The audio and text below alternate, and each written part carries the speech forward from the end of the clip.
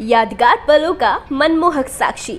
नवयुगल की नई और पहली choice best venue for every occasion destination wedding elegant design and expressive decor experience with luxury La Flora Garh road Meerut Chaudhary Charan Singh Kanwar मार्ग पर तेज गति से अनियंत्रित होकर गंग नहर में समाई स्कॉर्पियो को। शुक्रवार की सुबह निकाल लिया गया।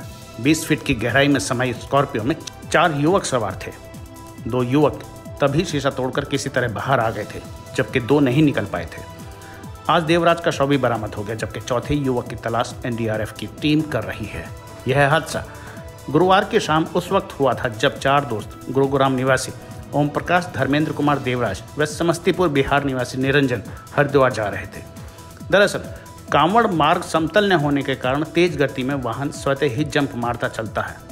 तेज गति के कारण वाहन से चालक का नियंत्रण खो जाता है और वह क्रश बार्डर को तोड़ते हुए नहर में समा जाता है। ऐसे कई हादसे हो चुके हैं और ऐसा ही इन दोस्तों के साथ भी हुआ। ओम प्रकाश व धर्मेंद्र तभी निकल गए थे जबकि देवराज का शव शुक्रवार को बरामद हो गया।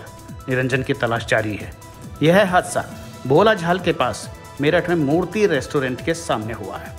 इस खबर में फ़िलहाल इतना ही। आप देखते रहिए फ़र्स्ट बाइट डॉट टीवी। नमस्कार।